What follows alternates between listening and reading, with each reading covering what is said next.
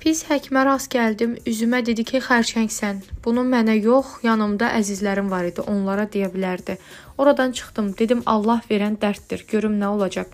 Bizim media xəbər verir ki, bu sözləri müğənni Yeganə Mürsəlova qonaq olduğu Rəngarəng səhər verilişində deyib. Sənətçi həkimə ona səhvən xərçəng diaqnozu qoyduğunu söyləyib. Oğlum balaca idi, hər gün güzgüyə baxırdım. Xərçəng xəstələrində saç, qaş tökülür. Əlimi atırdım saçma ki, görüm tökülür. Pis həkimin üzü qara olsun. Sonra heç kimya terapiya da almadım. Ancaq özümü ölümə hazırlayırdım. Qeyd edək ki, Yeganə Mürsəlova Talih adlı Türkiyə vətəndaşı ilə ailəli olub. Daha sonra cütlük boşanıb. Onların Ömər adlı oğlu var.